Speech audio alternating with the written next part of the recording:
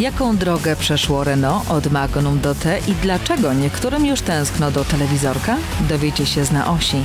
Ciężarówkę, której tuningowanie stało się wspólną pasją ojca i syna. Zobaczycie w na osi. Oraz jak i gdzie świętowano w Polsce pierwszy Międzynarodowy Dzień Kierowcy Zawodowego. Pokażemy w na osi.